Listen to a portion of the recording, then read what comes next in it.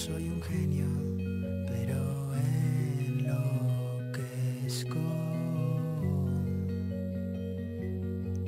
a ratos. La mayoría de las veces